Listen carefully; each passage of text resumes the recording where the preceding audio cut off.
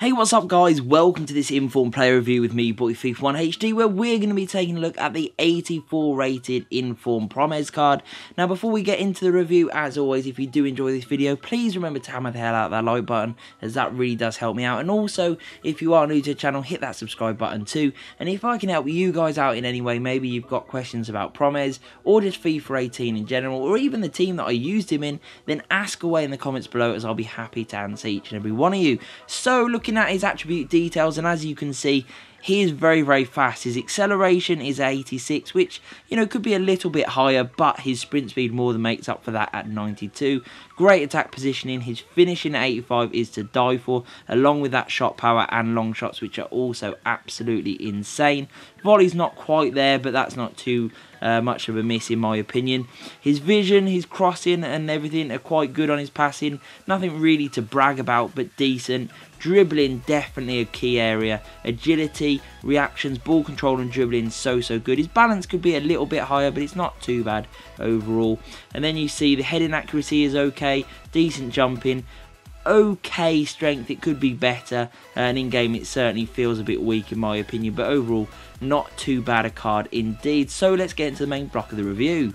So my thoughts on the 84 rated Inform Promes card were that he was very very good. Now the obvious thing that's going to stand out with this card is that he does have that League SBC available which is higher rated and slightly better. However, this card is one that you can trade. If you get bored with it or you want to sell it for any reason, you can do. You can't cash the League SBC back in once you've got it so you're stuck with that card.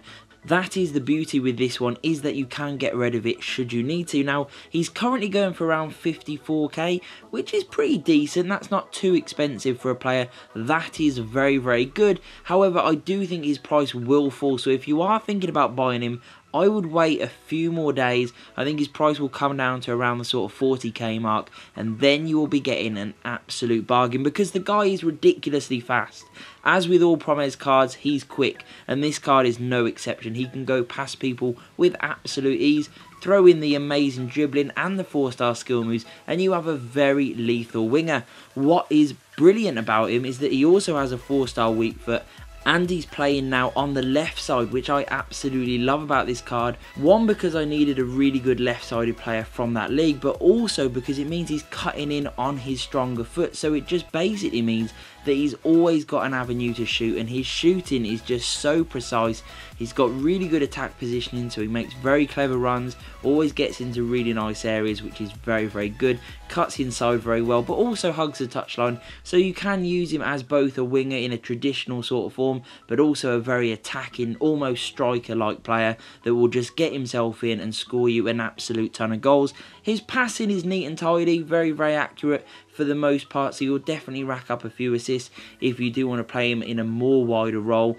His balance does leave a little bit to be desired for and he isn't the strongest which is always going to be an issue. He will get pushed off the ball. Any sort of big centre backs will have an absolute field day with him but that is only if they can catch him. What is great obviously is that pace and also that very tricky footwork combined with his skill moves it makes getting past players very very easy with Promes and like I said when he gets himself in he is highly clinical can score from some very tight angles and will just leave you absolutely speechless at some of the goals that he can score. So overall, a pretty decent player. Yes, not as good as that League SBC. That is the obvious elephant in the room. But for a card that you can actually trade with, this is a very good option and a great one for any Dutch teams that you've got with maybe a hybrid or any sort of Russian league teams that you are using him in. Very, very good player to use and one that I would highly recommend, which is why I've had to give him an 8.3 out of 10. There are a few defects on the card, obviously the league isn't the easiest to work with, uh, and a few other minor points, and yes, there is that League SBC which is higher rated and more attractive as a proposition. But I love the position change and I love a lot about this card. And for me, he played very, very well and was easy to use. And that is the main thing for me. So I hope you enjoyed this video, guys. If you did, please hit that like button, hit the subscribe, and peace.